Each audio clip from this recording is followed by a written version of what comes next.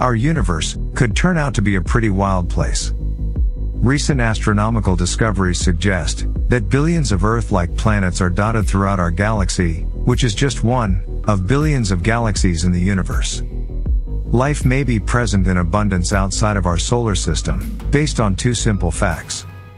First, the chemical elements of life, such as nitrogen, hydrogen, and oxygen, are widespread in the universe, as are the two key compounds of life on Earth, liquid water and organic carbon.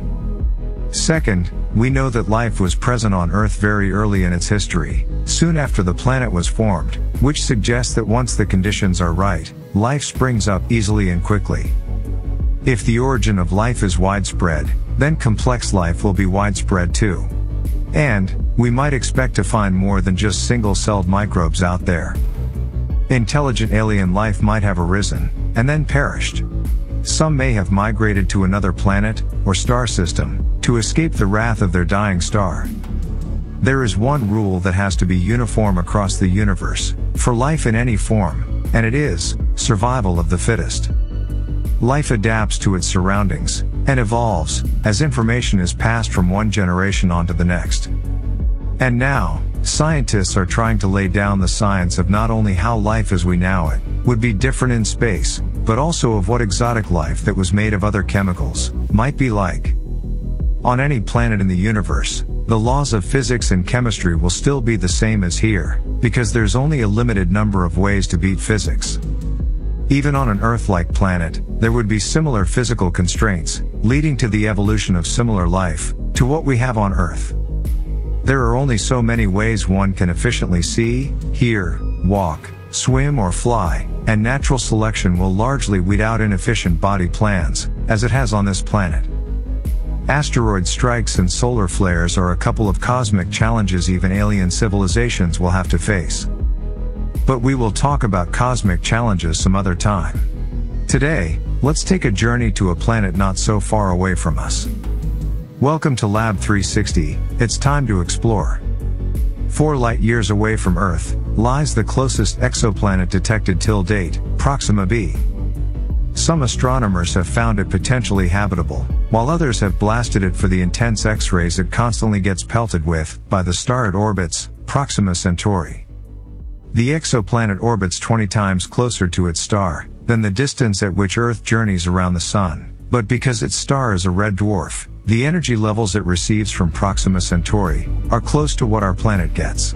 This means that the temperature of the planet should be mild enough for liquid water to exist on its surface. However, there's no guarantee that creatures which didn't originate on Earth, breathe oxygen and absolutely need water, but the conditions on our planet, are what we have to go off of. And, Proxima b is a tidally locked planet, which means that one side of the planet is always facing the star, bathing in solar radiation, and the other side in eternal darkness. Whether or not Proxima b could be a hotbed of life, most likely depends on whether an atmosphere exists. Because, to support life, it would need an atmosphere that could hold its own, against 400 times the X-rays that reach Earth. And if it has one, life could be thriving in the planet's twilight zone, the region between the day and night side. And amidst all the life nestled in her lap, Proxima b might give birth to an intelligent species. That species could harbor energy directly from the star, by building a Dyson sphere. That species could also be the source of the strange radio signals that we detected in 2019, coming from the direction of the star. While the sun could provide them energy, it could also be the reason for their extinction. Red dwarfs produce stellar flares, a lot more frequently than our sun does. In 2018, scientists discovered flashes of light coming from Proxima Centauri, that looked very different from solar flares. They were using a telescope that detects light at millimeter wavelengths to monitor Proxima Centauri, and saw a big of flash of light in this wavelength. Astronomers had never seen a stellar flare in millimeter wavelengths of light. As such, scientists wanted to learn more about these unusual brightenings in the millimeter light, coming from the star, and see whether they were actually flares or some other phenomenon.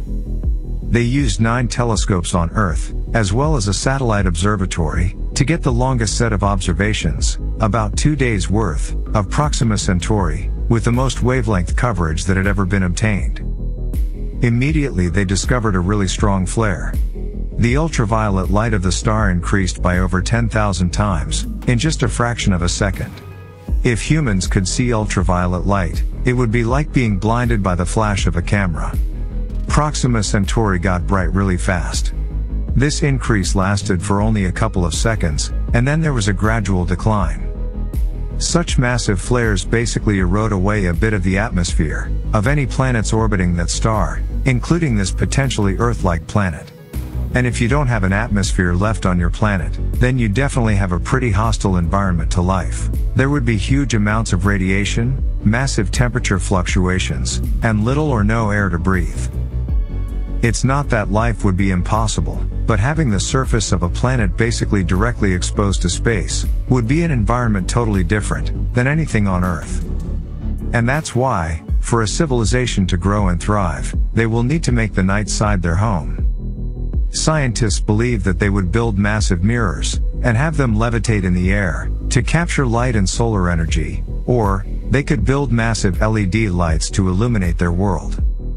Observations from Earth so far tell us that the chances of life on Proxima b are slim, but not ludicrous. And we will soon find out more about the planet, once our technological marvel turns its eyes towards the star system. The James Webb Space Telescope will not only be able to capture the star and its planets, but also study the atmospheric composition of Proxima b to find telltale signs of life. If there are any artificial lights, Webb will be able to detect them too. And if Proxima b is truly habitable, then humanity has a planet nearby, where we can settle, or make it our second home. To become a multi-planetary species, discovery of life on Proxima b will change everything for humans. Now, we just wait and watch. What do you think? Drop in your comments below, and if you enjoy watching our videos, do become a member of Lab 360, and get access to some cool perks. Your support is what keeps us going. Also, if you have any interesting topic that you want us to cover, do mention them in the comments, with hashtag AskLab360. We will pick out the best topics. And if you are a new visitor, welcome, and please subscribe to Lab 360, because together, we will explore,